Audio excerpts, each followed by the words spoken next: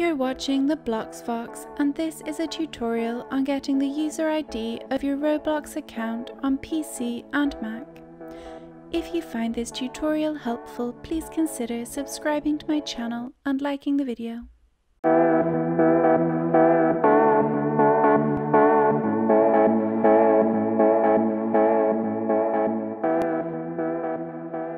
Start by going to roblox.com and signing in to your account if you're not already logged in.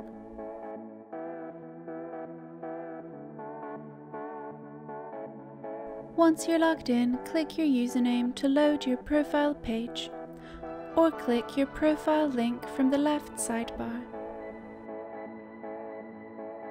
Now that you are on your profile page, click the URL bar of the browser to see the current URL. You'll see it says roblox.com slash users slash, followed by a number. This number is your unique user ID. All you have to do is copy this number and paste it wherever you want to share your Roblox ID. And that draws an end to this tutorial. Please like the video if you found it helpful and subscribe to the Blox Fox for more Roblox tutorials and guides.